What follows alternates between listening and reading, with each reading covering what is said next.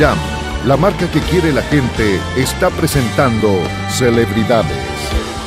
Estamos de vuelta, quiero contarte algo que vos ya sabés, lo que la gente quiere, sabes ya que es Jam, televisores, heladeras, congeladoras, microondas, bueno, tiene para vos también lavarropas, bueno, toda la línea blanca de Jam y también exhibidoras para tu negocio, para poner gaseosas, helados, bueno, todo lo tiene Jam, te cuento con un precio que no vas a poder creer, porque saben ya que Jam es la marca que elige la gente y que quiere la gente. Para saber más, lo trae Globo, Globo S.A. para su marca Jam 021 515 505. La calidad de Jam es superior, el precio es increíble. Aprovecha, Jam es más, es mucho más. Jam, la marca que quiere la gente.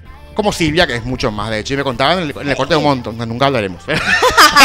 Nunca diremos nada de lo que hicimos en el corte. Pero sí yo le preguntaba a ella, ¿verdad? Porque viste que ella hizo mucho humor, la gente la conoce mucho. Yo te vi en una obra que hiciste de drama, por ejemplo, ¿verdad? Sí. Este, ese fue con la, con la, con la Barreto, cuando hiciste de. de- Cuando de- hicimos de- La Chunga. La chonga, sí. Sí. Ahí fue muy fuerte, ¿verdad? Fue muy fuerte. Yo creo que actoralmente. Hacer de lesbiana, ¿verdad? Sí, Sí. actoralmente fue el papel que, ah, que más me, me costó encarar, ¿verdad? Desde todo punto de vista, tanto desde la construcción del personaje como las escenas que había que encarar, la parte física, la parte emo- emocional, ¿verdad? Era, un, era una, un drama que se llamaba La Chunga. La chunga, sí. Y Graciela Barreto interpretaba a la dueña de un bar. Claro. Y yo era una especie de la Aishin Yaranga que Sí. siempre me iba a lamentarme porque mi chongo, digamos, eh, me ponía los cuernos, era un desastre conmigo. Entonces Sí. Graciela, eh, el personaje de Graciela se enamora del mío. Sí. Y digamos que... eh, de repente se da una relación lésbica. Claro. Entonces en escena teníamos que nosotros representar en un momento eh, una acción de, de toqueteo, ¿verdad? De Sí, beso. fuerte era. sí. Fuerte fue, Fuerte realmente fue, fuerte. Ahí fue que, fue que, que hiciste un topless, ¿o no? Sí. Ahí fue, ¿verdad? Sí, Ah, un topless. que ya es la que había estrenado cuando eso recién. ¿verdad? Cuando Sí. eso recién tuneada Sí, estaba. Te había hecho recién las Lola, ¿verdad? Me había tuneado. Sí, y la- las debutó Sí. en un teatro. Sí. Sí. y todo el mundo siempre "Ah, me pregunta, sí". ¿quién? ¿Vos, te- ¿vos sos o no sos? ¿Vos te hiciste? ¿No te hiciste? Eh, ¿verdad? sí. Yo recuerdo cuando, cuando vos estabas en plena actuación, había atrás mío unas camionetas. Yo le, le digo, perdón, camioneras, ¿verdad? Sí, pues, ¿sabes? Que- sí, el término de, de- de- ¡Basta! sí, las camiones, ¿verdad? Sí, cómele la boca. Le gritaban, Sí. ¿verdad? Ellas vibraban ellas, sí, sí, sí. Sí. Porque Y- pensaban que era tan real, era que eh, vibraban. Sí, y mi mamá Y yo decía, tía Chela. Mi mamá se fue a ver la obra y casi se murió. ¿Tu mamá vio? Sí, Ay. mis tías también vieron, ¿verdad? Pero eh, no- lo hicimos de manera tan profesional Sí, que, que a mí también me consolidó, digamos, en un, en un, en un ámbito que era el arte dramático, el cual yo No era- había hecho ya, ¿Sí? pero no, sí, había hecho Frida con Agustín Núñez también. Ah, Frida, ¿verdad? claro, también, Sí, y sí. con Mario Santander también en su momento hicimos 30. Pero sí, era un protagónico y encima Claro. un personaje cuasi lésbico, ¿verdad? Claro. Entonces sí, fue un desafío enorme y, y a mí me enseñó mucho. Claro. Totalmente. Y justo hoy, justo de eso hablábamos con Guille el otro día y de eso se trata también hoy en día, que aceptaríamos y que no. ¿verdad? Claro. Que no sumaría y que no, ¿verdad? ¿Y hoy harías la chunga de vuelta o no? Haría. Haría, sí. Haría de vuelta, claro que sí. Para mí sería genial verlo en televisión, eso, ¿verdad? Mm, basta. Tipo una serie, ¿verdad? Basta. De la chunga. Yo Y creo de- que la familia Lavalle es lo que hay que llevar a la tele. La familia Lavalle también, ¿verdad? Sí, esa, esa también. familia podría funcionar en, en televisión. Podría, ¿verdad? Sí, Sí, sí, sí, sí. aparte es genial. Y ya no hay casi programas de humor, ¿no? Hay luego. Sí, me no. Bueno, ¿O acá en sí? C9 está Sí, sí. destornillados, ¿verdad? Destornillados, sí, sí, sí, ¿cierto? destornillados. Y en el 13 está tercer tiempo, ¿verdad? Tercer Sí, tiempo. sí. Pero yo te digo programas de sketch o de Ah, cosas series es así. lo que no hay, sí. no. Series, tipo comisaría, Ah, tipo polibandi, no hay más. Comisaría creo que estaba en el 13, ¿verdad? Comisaría volvió. Eh, volvió una temporada, después se, Ya, se- se se acabó. canceló, sí. Ah. Sí. Bueno, no- Pero- no, estabas vos. Pero hace. Mm, sí. Mm. Ah, pero a mí me habían llamado para esa comisaría. ¿Te habían llamado? Sí, claro, habían pero vos estabas con nosotros en. Cuando yo estaba, sí, yo estaba en el otro canal y eh, ese es el problema cuando de repente surgen propuestas que vos Claro. no sabes si así correr el riesgo o no, ¿verdad? Yo en ese momento estuve tentada, pero hoy, hoy día digo, bueno, tomé una buena decisión, Claro, ¿verdad? te duró más Telemor que ese. Totalmente, Sí, sí, sí. totalmente. Y ¿Cómo hoy se llamaba día, la casilla en comisaría, la, la- la- tu personaje? Susi, Susi Quebrado. Susi Quebrado, sí. Era sí, la sí. policía, La medio- policía. medio sí. lole. Medio lole, sí. Como, y esa, esa cómo nació. Y ella Te era- un espejo y soy yo. ella era la hija del comandante, ¿verdad? Sí. Y yo tenía una amiga Ah, sí. que, que hablaba todo así. Ella Ah, hablaba sí, todo así, tipo, sí. tipo, el Mili y la cachorrita, Tipo Mili, sí, saluda a Mili. sí. Entonces, Sí. así surgió la Sí. voz, por ejemplo, de Susi Quebrado, ¿verdad? Sí. Y después de mirar las típicas hijitas de papá, ¿verdad? Que Claro. todo, todo lo veo, todo lo quiero y todo lo tengo que tener. Consentida. Exactamente. Todo lo que vos no fuiste en tu vida, ¿verdad? Exactamente.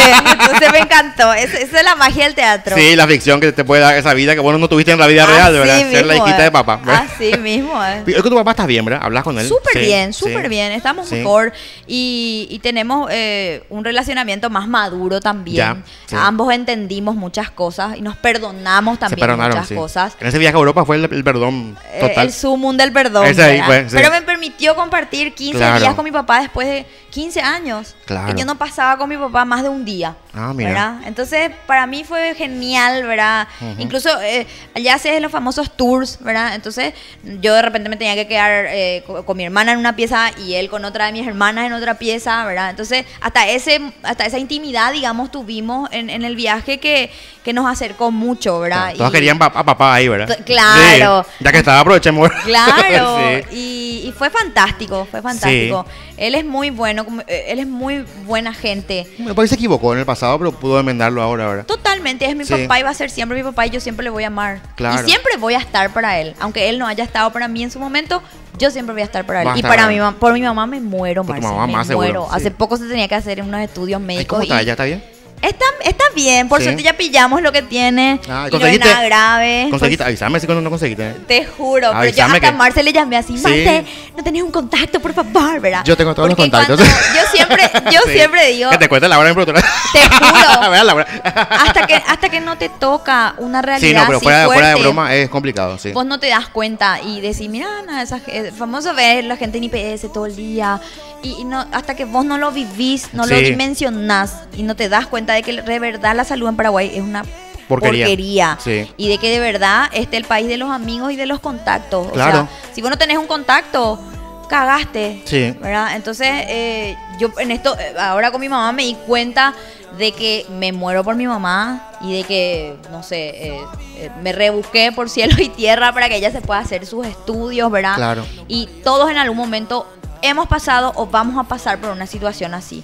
Entonces yo siempre digo, hay que ser solidarios, hay que, Claro. hay que ser solidarios y hay que tratar de ayudar. Sí. ¿verdad? Eh, a mí mucha gente me puede promocionar esto, me puede pasar, eh, por, por compartir, mira, sí, y comparto. Claro. Porque el día de mañana yo puedo necesitar. Sí, hay, hay actores que no hacen eso.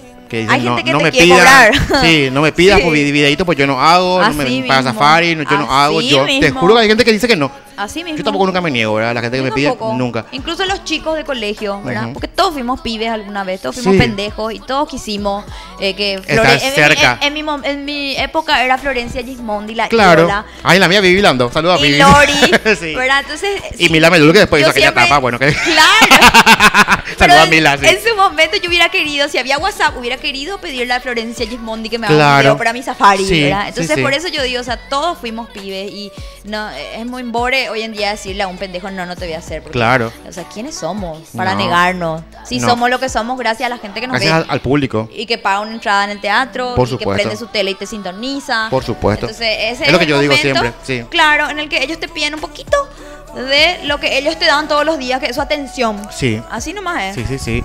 Hablando de Vivi Lando, yo cuando lo conocí a Shusha, casi me dio un infarto. ¿Vos vos le llegaste a ver Yo no le llegué a ver. ¿No le llegaste? Ah. No, mi hermana parece que se fue. Tu hermana se fue al, Pues ella es mayor, sí, un poco al defensor del Chaco fue. Sí. Sí. sí, sí. Yo cuando yo le vi así, casi, casi morí de un infarto, ¿verdad? Era como verle al, al sumum, no sé qué, ¿verdad? Así de tu historia, Sí. ¿verdad? Y ahora volvió con un nuevo show, ella que hace el mismo show que hacía antes, pero ya de 50 años, ¿verdad? Sí, ya, ahora de- de leca. Ahora para, para, para los más altitos, ¿cómo se llama? Para Sí. Sí, Jaca pero- Pillona sigue siendo ya, ella. Sí, se llama Chucha, como abuela, ¿verdad? Chucha. Ah, sí, sí, sí, mira. Sí, sí, sí. Ya estamos con, el, en el medio infantil de agosto, ¿verdad? Claro. Sí, ¿verdad? Falta también programas infantiles. Faltas, faltas. no, hay Falta. uno creo que en un programa de cable, pero no, no hay muchos. No, no, hay muchos. ¿Te ves así? falta.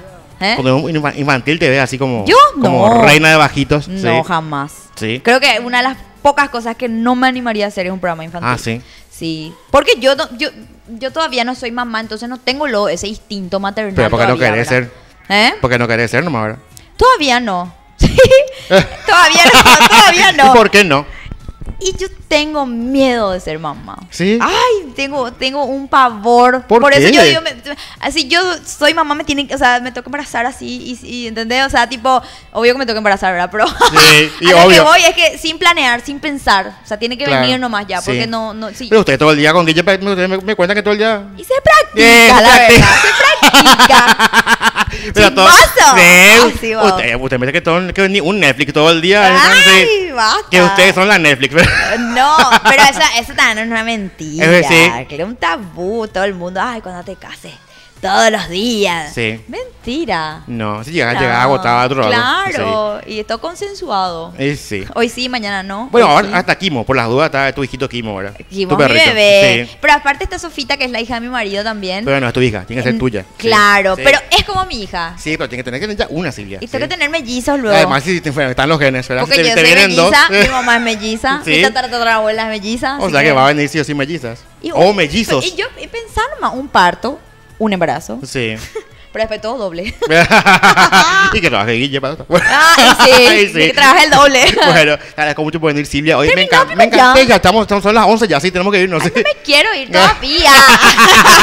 Ven el, el próximo domingo sin problema. Bueno, te, esperamos acá, ¿verdad? Así Gracias, Marce, por la invitación. A vos por venir. Me tu casa es C9N cuando quieras venir sin problema. Te conté tantas cosas que no, Dios mío, después te vas, ay, mi mamá, no te vayas que papi, va. a ver, Silvia, me querías mostrar tu vestido. ¿Sí? Sí. ¿Quién te vistió esta noche? A ver. Sí. la manta sagrada. Sí. Mi vestidito hermoso. De Ángel Botino, ¿verdad? De Ángel Botino. Ah, Muchísimas Ángel. gracias a Joseph Denis Roa también de Francesco. Me peinó Nico y me maquilló eh, Oscar, así que muchas gracias. No seríamos Francesco. nada. Hola, Steffi, ¿cómo estás? Francesco. Sí, sí. No seríamos nada Sí. sin la gente que nos apoya para estar Por lindos. supuesto, yo arrimado, como saben, ya arrimado. Y Vela Sí. Spa que nos dijo hace rato, Vela Estética Spa que me cuida siempre el look, ¿verdad? Ahí está. Sí. Silvia, te agradezco mucho por venir. Éxito, Gracias sí. a vos. Sí, sí. Me hallé, me Yo divertí. también, sí, me divertí mucho. Sí. Y casi lloré con tu historia, pero bueno. sí. Es posible. Sí, bueno, hasta el próximo domingo, tu casa C9N, cuando quieras venir, esta es tu casa, ¿sí? Cuando quieran, estoy por acá. Te agradezco mucho, ¿sí? Quédense aquí, pásenla bien, próximo domingo nos reencontramos, gracias. Fue presentado por Oscar Santos Propiedades. Jam, la marca que quiere la gente.